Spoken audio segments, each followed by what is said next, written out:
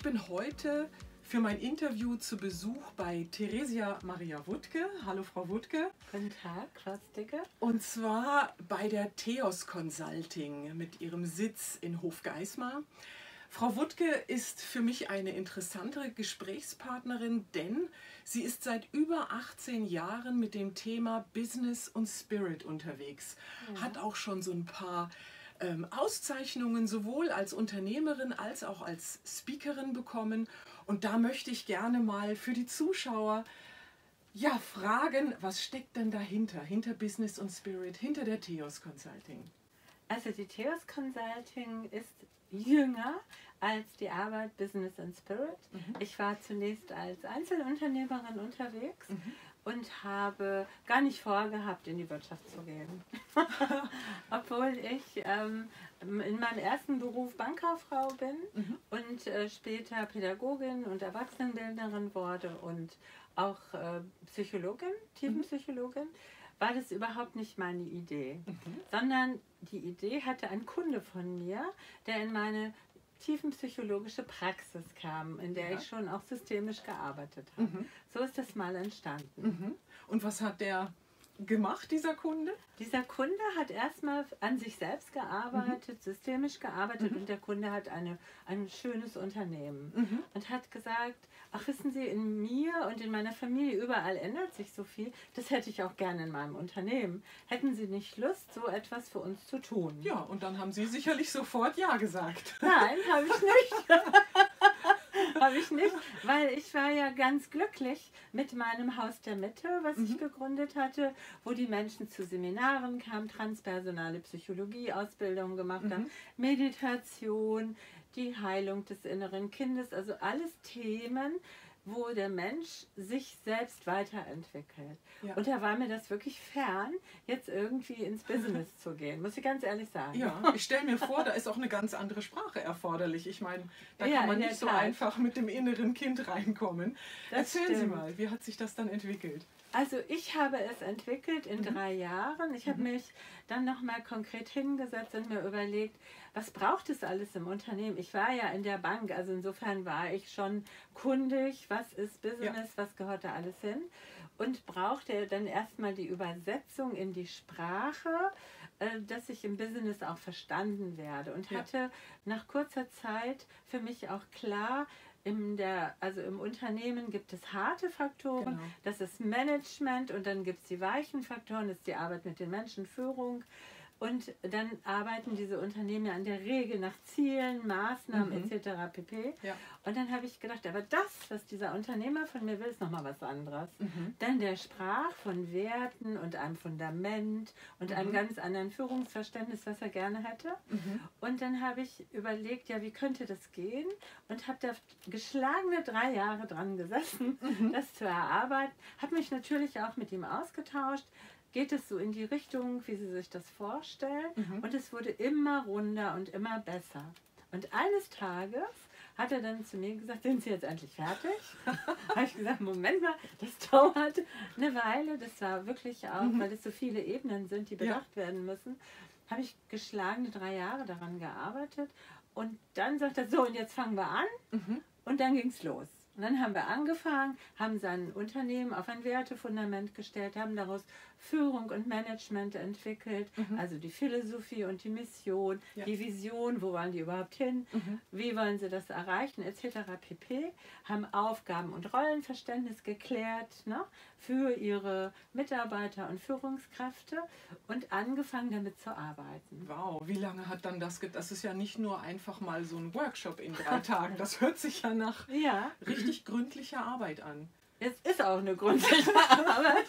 Das hört sich nicht so an. Mhm. Also ich würde mal sagen, wenn ein Unternehmen so ein Change-Prozess, wir sind mhm. ja heute, sprechen ja immer in englischen Begriffen, mhm. nicht wahr? Also wenn so ein Change-Prozess anliegt, das geht schon über zwei, drei Jahre. Ja. Und genauso war das mhm. auch. Mhm. Und das Tolle war, dieses Unternehmen ist so in Strahlen geraten, in solch wunderbaren Erfolg gekommen, weil sie auch ein anderes Kundenverständnis entwickelt haben, anderes Verständnis für ihre Lieferanten, für all die Personen, mit, diese, mit denen sie zusammenarbeiten. Das hat sich natürlich rumgesprochen mhm.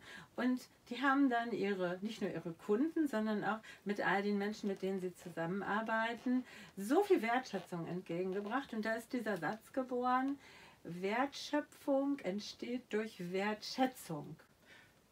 Genau. Sehr schön. Ja, da steckt viel Arbeit drin. Also ja. das ist dann die Essenz dieser, genau. dieser Arbeit.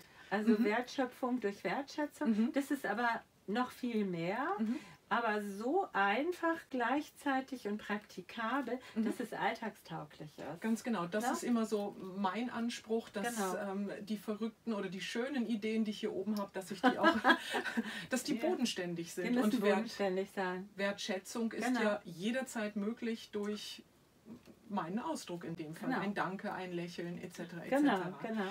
Ja, und dann ähm, habe ich ja gehört, Sie schreiben auch ein Buch, Frau Wutke. Das wird den gleichen Titel haben, richtig? Business and Spirit. Auch Sie sind englisch unterwegs. Business and Spirit, so wird mhm. es heißen. Mhm. Was jetzt in der Arbeit noch dazugekommen ist, in dieser gesamten Arbeit ist eben das gehirngerechte Lernen, mhm. dass wir die rechte und linke Hirnhälfte schön miteinander verbinden und auch mit dem Herzen.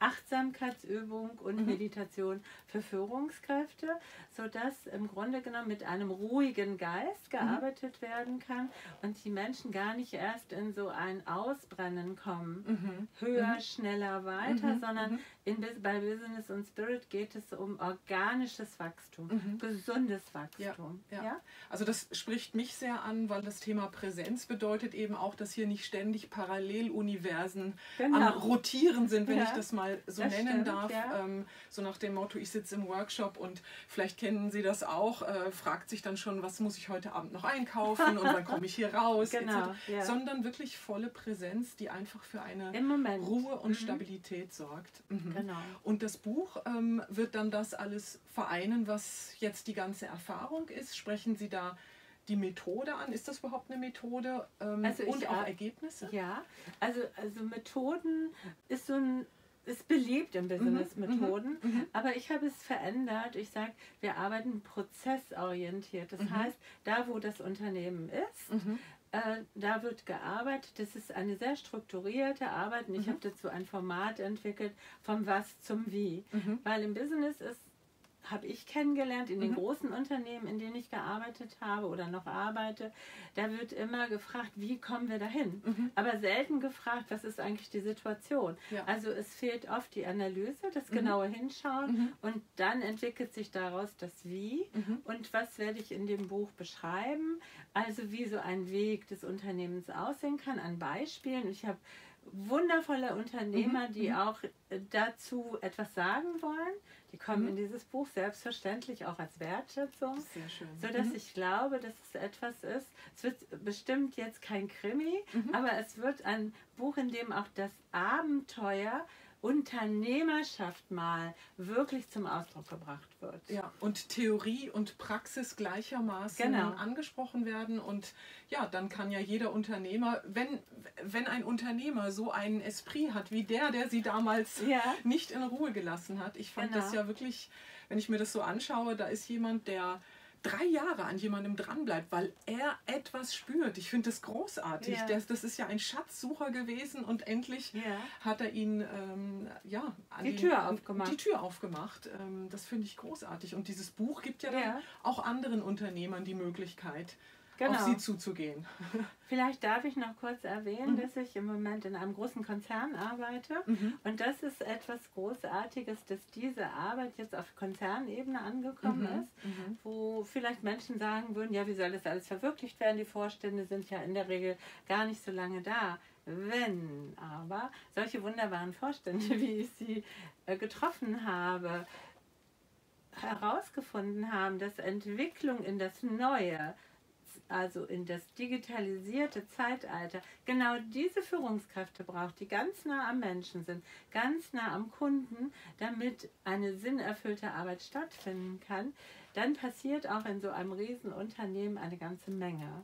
Und diese äh, Führungskräfte und diese Unternehmerschaft kommt auch in diesem Buch zu Wort mhm. und da freue ich mich drauf und äh, ja, bin da ganz glücklich drüber. Ja, denn also Sie haben gesagt, es gibt Struktur und Ordnung ja. in diesem ganzen Prozess genau. und ähm, äh, ja, ich denke, wenn dann Sie das Unternehmen alleine lassen, die müssen ja auch alleine dann klarkommen. Unbedingt, ne? dann, unbedingt. Dann geben die ja diese Struktur und diesen Halt auch weiter.